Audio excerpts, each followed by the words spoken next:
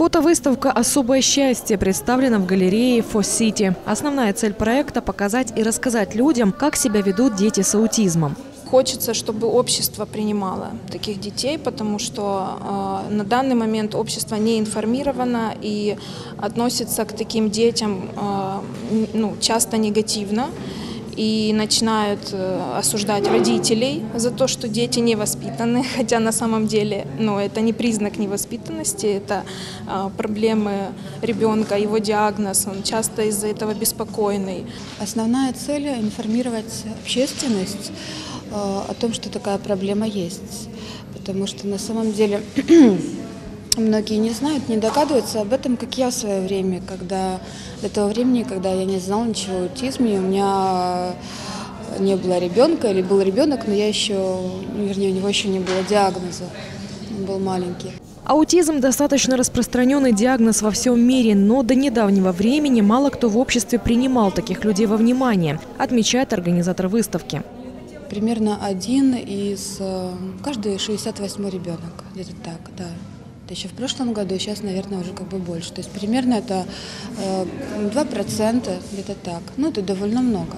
Нет стран, в которых бы аутизм был больше распространен, других меньше. Нет, э, то есть это аутизм не зависит от культуры, от э, нации, от финансового положения. Фотограф Ирина Жежер, автор работ нынешней выставки, призналась, что работать с особенными детьми в основном не составляло труда наверное, в одном случае из семи э, мы не знали, насколько было ребенку просто непривычное место и насколько он сможет э, расслабиться, скажем так, прийти, насколько ему хватит времени на адаптации. А, вот. а так было достаточно как бы легко. Все детки прекрасны, все, все родители молодцы. Фотограф рассказала о самой простой, но действенной хитрости, помогающей сделать фото естественными и непринужденными. Самая большая уловка – это не мешать детям. А, наверное, это самое важное, то есть эм, когда ты не можешь э, войти да, на 100% в контакт и увлечь ребенка, тогда просто нужно ему не мешать.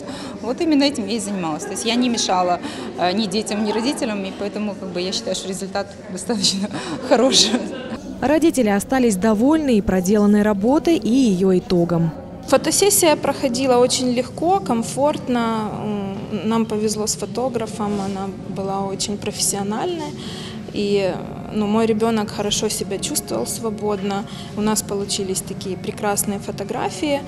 И я думаю, что этими фотографиями мы можем показать а, городу нашему, что аутизм это не приговор. Для меня очень важно, когда говорят о детях и о детях, тем более с инвалидностью.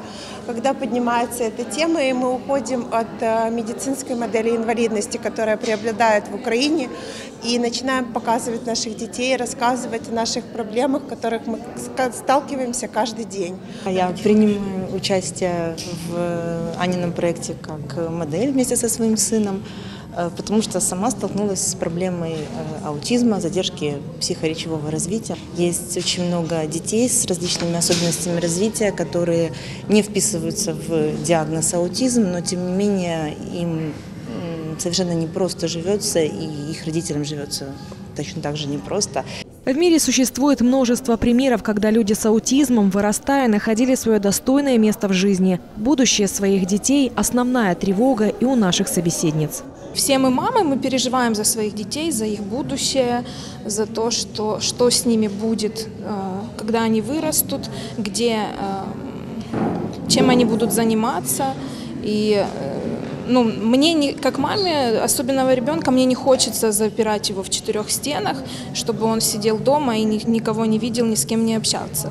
Не общался. Мне наоборот хочется, чтобы он а, был в социуме, чтобы он полезный был, чтобы он нашел себе применение в этой жизни, чтобы он мог а, делать что-то, чтобы он мог трудиться, может быть, а, даже зарабатывать какие-то деньги. Выставка продлится до 7 апреля. Фотопроект благотворительный, а это значит, что каждый желающий может оставить материальную помощь и внести свою лепту в создание творческих социальных мастерских, где будут заниматься особенные дети.